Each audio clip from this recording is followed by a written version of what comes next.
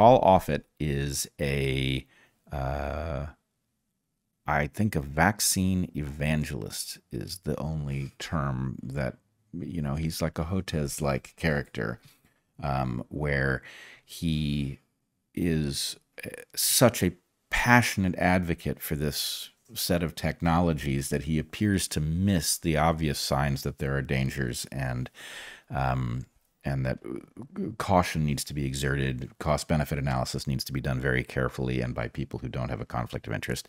And recently, Bobby Kennedy Jr. has uh, taken Paul Offit to task. Apparently, he had personal interactions with him in which he brought things to Offit's attention that should have raised Offit's eyebrows about uh, vaccine safety and I believe the lack of placebo controls, and Offit uh, disappeared and wouldn't respond. So, anyway, people can look into what Bobby Kennedy has said. But this conversation with Gad Saad and Paul Offit had an interesting uh, exchange, which I will show you. Uh, we have a tweet that contains it. Do you want me to show the video? Yeah. Is there a problematic link between the COVID vaccine and heart inflammation? there certainly is a, a causal link between vaccination and myocarditis and pericarditis. No doubt about it. Uh, the the um, it's, it's unclear why. I mean, it may be, uh, as was actually noticed in 2020, that SARS-CoV-2 virus, the spike protein, mimics um, a one of the proteins on heart muscle cells, specifically the, the heavy chain of of uh, of, uh, of, of um, actin. So so if that's true, then while you're making an immune response to the SARS-CoV-2 spike protein, you're also inadvertently making an immune response to your own heart muscle.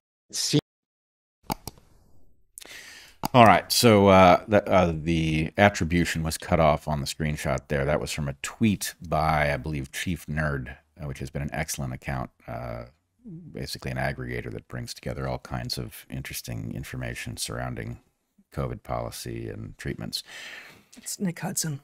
Uh, uh, he is, I believe, he has taken the clip from um, from Chief Nerd. But anyway, okay. Nick Hudson tweeted okay. it. But in any case, what Offit says here is interesting because Offit, who is a vaccine evangelist, acknowledges, in fact, he says there's no doubt that there uh, is a causal link between myocarditis and pericarditis and the COVID vaccines.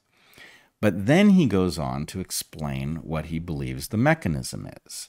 And he says that it is likely because the spike protein, and mind you, Dark Horse got fact checked over the claim that the spike protein was cytotoxic, and that was claimed to be misinformation, though it is clearly not misinformation.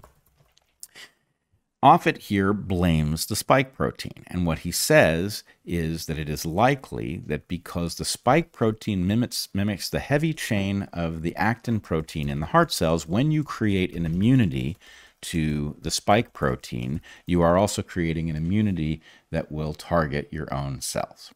Now, on the one hand, that is a major admission. Yep, right? sure is. Some of us tried to warn about autoimmunities, about heart damage, about many different components, and we were ridiculed. We were, uh, we had our censored, demonetized, censored, the whole demonetized, thing the whole based thing. on uh, true facts. Yes, and notice, let's say that his story is right that that's what's going on here. Well, guess what? Those of us who said you don't know the long term effects of these shots, they couldn't possibly be safe, we couldn't possibly have been righter. Right? What this says is there was no way to shortcut this safety process and get the benefit of it because what you needed to see was what pathologies develop down the road, and you haven't had enough time to see those pathologies. So that is a complete vindication of the idea that they had no right to tell us that these things were safe because long term harms uh, were unknowable at the time to anyone. Okay.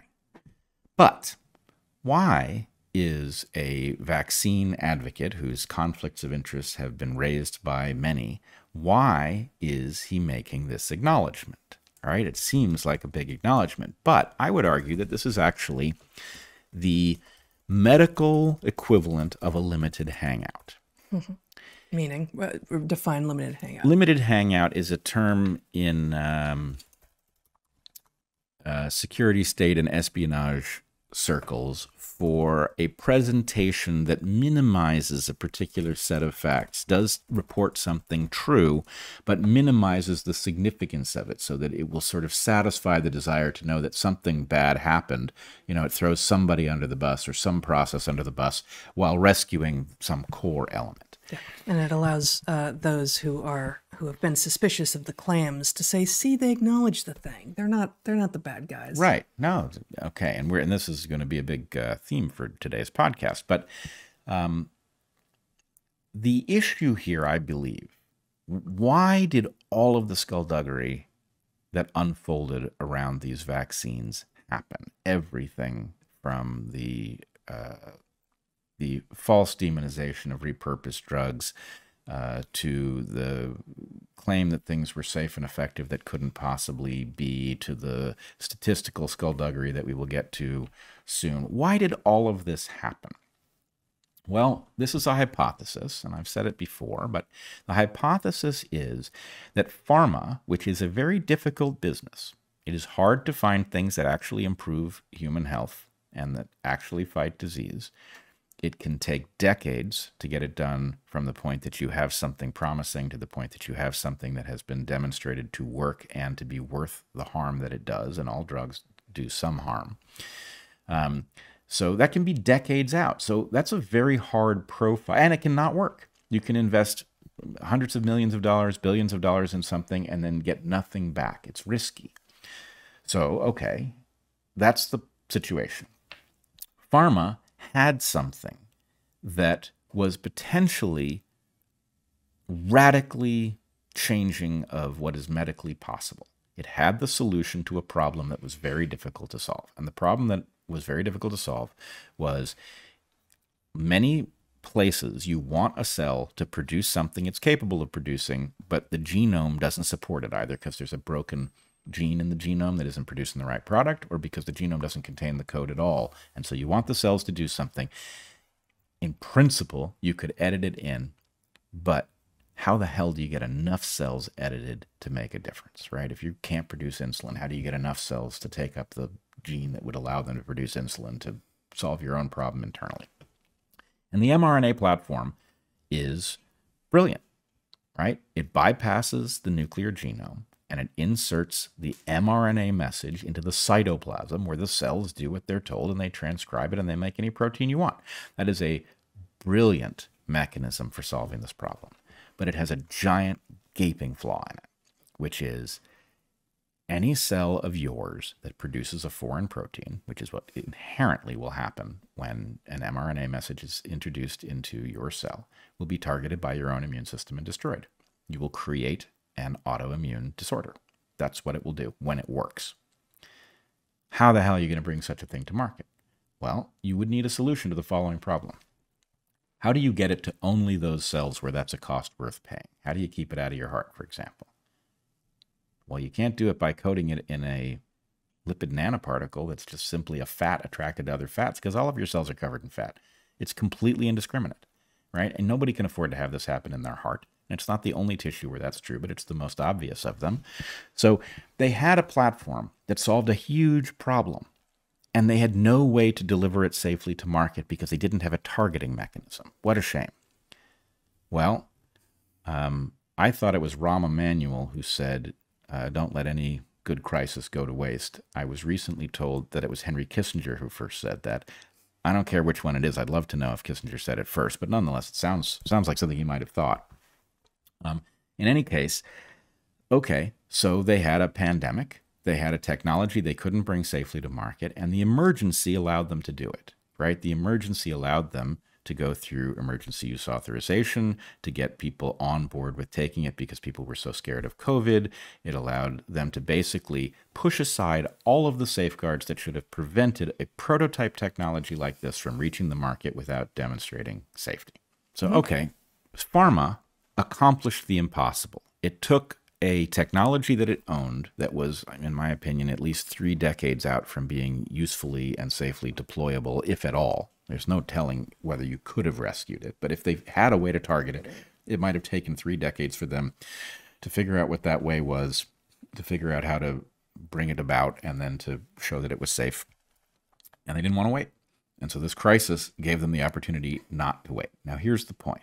Now, you've got a huge fraction of the globe that has already accepted mRNA vaccine technology. And how? How accepted. are you going to rescue it from a 1 in 35 chance of damaging your heart? Right? How are you mm-hmm. going to overcome the dawning awareness that this stuff is lethally dangerous and to tissues you cannot afford to have damaged? Well- Blame the spike protein. Right. If the problem is inherent to the spike protein, then okay, we admit it, we picked the wrong protein, but all you got to do is swap in a protein that doesn't have some flaw like this, and the mRNA platform is right back on track.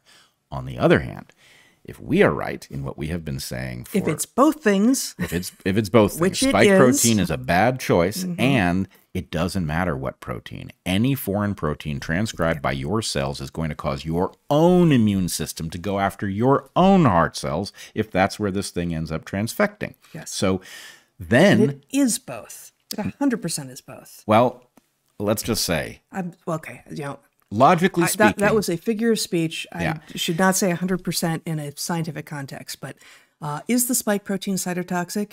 Yes. Now we even have Paul uh, Offit, what did you call him? A, a vaccine evangelist? yeah. acknowledging that. And is the mRNA platform itself going to indiscriminately, because it has shaved away all of the evolutionary um, context of the organism that it is supposedly vaccinating you against, indiscriminately attack things like your heart cells? Yes.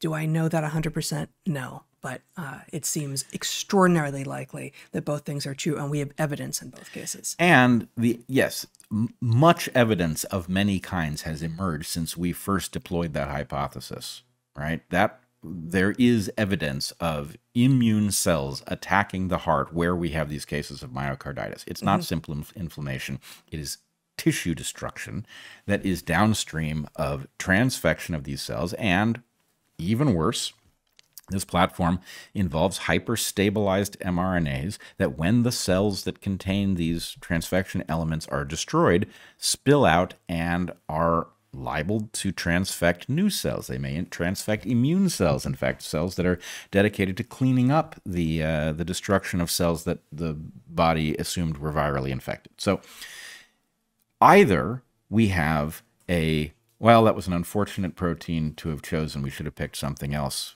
you know, but mistakes happen, which is what Paul Offit's claim is. Or this platform is still fatally flawed, and that's why it never should have been sped through all of the processes that would have been necessary to demonstrate you had a vaccine that was worth the cost of injecting it in people. So that's where we are. And I believe what Paul Offit is doing is a limited hangout designed to rescue the mRNA platform from the uh, natural um, consequences of what we have now discovered at the cost of who knows how many lives globally. Who knows how many years people lost? Who, knows how much the cost of this destruction has been? And yes, the spike protein was not a good choice, as we have said many times but it is far from the worst problem here. And the worst problems do indict this platform until proven otherwise. Awesome. I mean, completely diabolically terrible. Yes. Awesome.